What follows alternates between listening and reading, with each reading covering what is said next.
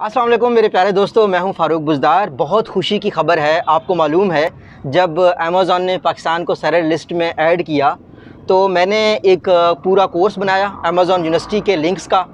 क्यों? क्योंकि अब अगर आप सेलर यूनिवर्सिटी में एडेड है पाकिस्तान तो आपके लिए भी वही असूल अप्लाई होते हैं, जो पूरी दुनिया के लिए होते हैं। आपको किसी की मिन्नत करने की कोई ज़रूरत नहीं है यूके में किसी को पैसे देने की यूके में बैंक अकाउंट खोलने की यूके में जो है ना टैक्स देने की कंपनी रजिस्टर करने की, किसी की भी अब आपको ज़रूरत नहीं है। आप पाकिस्तान में बैठ कर अपना अकाउंट बना सकते हैं।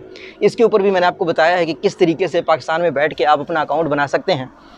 एक पूरा एक घंटे का कोर्स है अमेज़ोन की सारी ऑफिशियल लिंक्स का, ठीक है ना? ऑफिशियल कानूनी, ठीक है ना? तो उस उस वीडियो को आप देखें और दूसरों के साथ शेयर करें।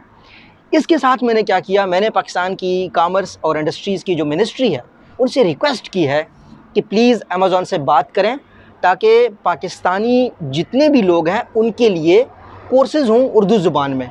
इसमें अमेज़ोन का भी फ़ायदा होगा। कोई गैर कानूनी तौर पर गाइड नहीं कर सकेगा हमारे नौजवानों को।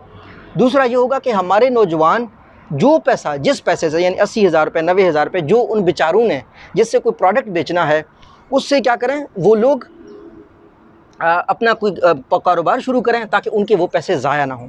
दूसरी बात यह है दोस्तों कि अगर कोई फ्रॉड होना कोई गलत बात हो, वो अगर एक शख्स कर रहा हो तो इतना नहीं फैलता।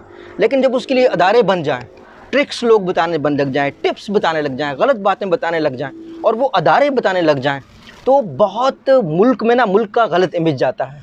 ठीक है ना? अब दो तीन तो हमारे, हमें मालूम है कि वेल नोन ऐसी कंपनीज़ हैं जो अमेज़ॉन कोर्सेज़ करवाते हैं। लेकिन भाई गली गली में इस तरह के अमेज़ॉन के मैंटोर्स बने हुए हैं, जिसको बिल्कुल ई कामर्स का पता भी ना हो कि ऑनलाइन चीज़ें सेल कैसे होती हैं। अब, ये काम सारा होता कैसे है, वो भी इस टॉपिक के ऊपर कोर्सेज़ करवा रहा है। आप लोगों को मालूम है कि जब कोई शख्स बोलता है तो आप उसका बैकग्राउंड ज़रूर चेक किया करें। अब जिस तरह पाकिस्तान में ऑनलाइन चीज़ें ख़रीदना और बेचना सबसे पहले टेलीकॉम कंपनीज़ ने शुरू किया था 2011 में। और मेरे लिए ये एजाज़ की बात है कि यूफून का जो ई केयर पोर्टल है, इसको दो साल में देखता रहा। हमने वहाँ पे प्रोडक्ट्स ऐड किए, किस तरीके से आप पैकेजेस खरीद सकते हैं, आप अपनी प्रोफ़ाइल को कैसे मैनेज कर सकते हैं। ये दोस्तों 2011 में मेरे पास था।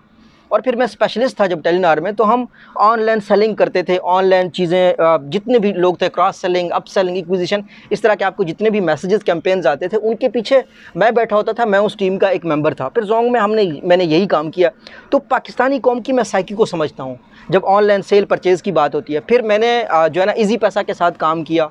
हमने, जो ब्लैक फ्राइडे लॉन्च होता है, उसके कैंपेन्स की इंदराज के साथ तो एक बहुत, एक वास्ट हिस्ट्री है, जिसमें मैंने मिलियन डॉलर की जो है ना कैंपेन्स को मैनेज किया हुआ है। तो उसके बाद जब मैं आपको कहता हूँ ना कि ऑनलाइन सेलिंग और परचेज़ के लिए, इस बात की आप मोहताज मत हूँ कि जनाब, हमने जो है ना कोई सॉफ्टवेयर सीखना है। नहीं नहीं नहीं नहीं। असल चीज़ है कस्टमर को समझना।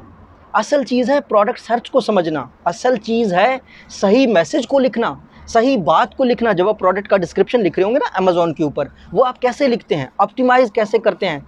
कैंपेन्स की दोस्तों, एक पूरी दुनिया है। कैंपेन्स की एक पूरी दुनिया जब मैं टेलनार में था तो हम तकरीबन 300 कैंपेन्स करते थे और मेरा टारगेट ये था कि 500 मिलियन रेवेन्यू में हम इंक्रीज़ करें सिर्फ़ कैंपेन्स की वजह से।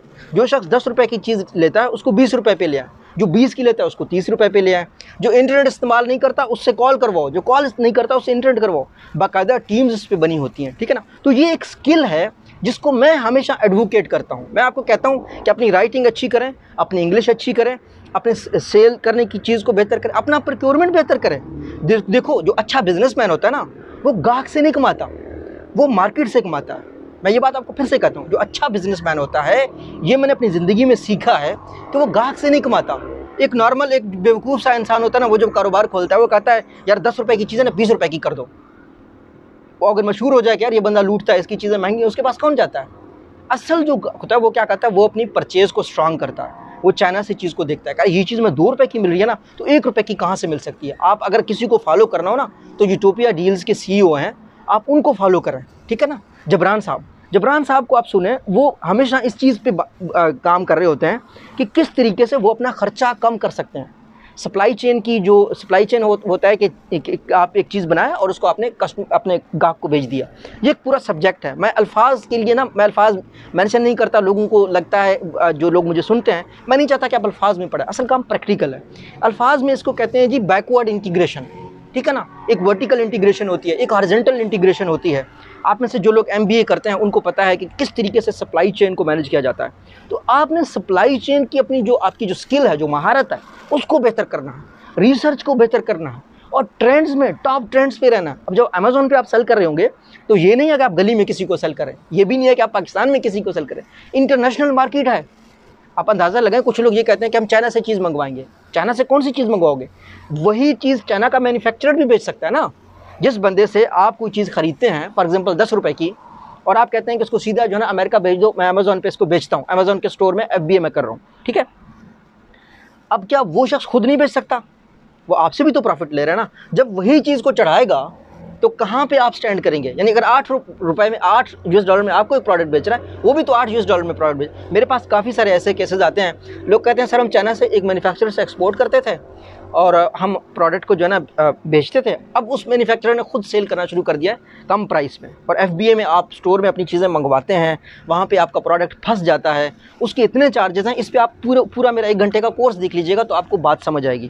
खैर जो खुशी का खबर है वो ये है कि हुकूमत पाकिस्तान ने ये कहा है कि वो पाकिस्तानी नौजवानों के लिए फ्री कोर्सेज लॉन्च कर रहे हैं। इसके लिए मैंने रिक्वेस्ट की थी मिनिस्ट्री ऑफ़ कॉमर्स से कि आप ये काम करें। उन्होंने कहा कि अमेजोन यूनिवर्सिटी के लिंक्स को शेयर करें कोर्सेज़ को शेयर करें।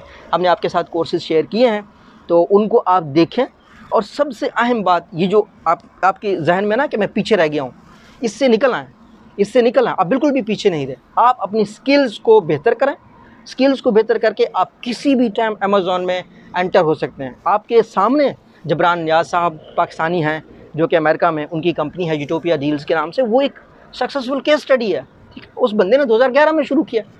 2011 में शुरू किया है। अभी उन्होंने अपना ब्रांड शुरू किया है। यूटोपिया इंडस्ट्रीज़ के नाम से कराची में उन्होंने अपना काम शुरू किया है। तो आपके लिए वो एक मिसाल है। ठीक है ना? ये जो, आ, जो उनका जो मेन चीज़ है उनके कारपेट्स बिकते हैं उनके टॉवल्स बिकते हैं क्या ये चीज़ें पहले नहीं बिक रही थी अमेज़ोन पे? सदियों सदियों में बिक रही थी। लेकिन उस वो बंदा क्वालिटी ले आया, वो बंदा स्टैंडर्ड बना के ले आया तो वो बंदा चल गया। अब कारपेट्स तो अमेज़ोन पे जब से अमेज़ोन बना है बीस तीस साल पहले तब से बिक रहे हैं। ठीक है ना? लेकिन जोटोपिया डील्स के बंदे ने क्वालिटी ली है, अपने काम में इंप्रूवमेंट ली दुनिया की दोस्तों, हर चीज़ हर चीज़ डिसरप्ट हो सकती है। हर चीज़ बदल सकती है। ये आपने जहन में नहीं रखना कि मैं पीछे रह गया हूँ। आपकी उम्र इस वक्त चालीस साल है, पचास साल है, आप पीछे नहीं रहे हैं। आपकी जो स्किल है, अपने स्किल को यूज़ करें। एक, यहाँ पे एक और भी बात मैं आपको बताता चलूँ कि वेट करें हुकूमत के लिए, सब्र करें, अपने स्किल पे काम करें। और आप जो काम करें ज़िंदगी में, उस, वो बुरा नहीं है। आप ऑफलाइन कोई चीज़, मिसाल के तौर पर हैंगर्स बनाते हैं, आप उसमें अपना स्किल अच्छा करें। थोड़ा सा सर्च करें कि किस डिज़ाइन से चीज़ें पैकिंग होती हैं। मैंने पैकेजिंग के ऊपर बड़ी वीडियोस बनाई हुई अपने चैनल के ऊपर। ज़रा देख लीजिए अमेजोन प्लेलिस्ट को। अमेजोन के ऊपर एक पूरा प्लेलिस्ट है कि आप पैकिंग किस तरीके से करते हैं, किस तरीके से सब्ज़ी की फ्रूट की प्रोडक्ट्स की पैकिंग होती है। पैकेजिंग बहुत इंपॉर्टेंट है। हम जिस तरीके कपड़े पहनते हैं, ये हमारी पैकेजिंग है। तो हम अपने पैकेजिंग का ख्याल रखते हैं। ठीक है? तो इस पर मज़ीद मैं आपको अपडेट शेयर करूँगा। जो ही गवर्नमेंट के कोर्सेज विजिबल होंगे, ये आपके लिए खुशखबरी थी। और अपने स्किल्स को बेहतर करें। इस दौड़ में वेट करें हुकूमत के लिए और इन लोगों की जो वीडियोज़ हैं वो भी आउटडेटेड हैं। इस पर मैं एक और वीडियो बनाऊँगा। अल्लाह हाफिज़।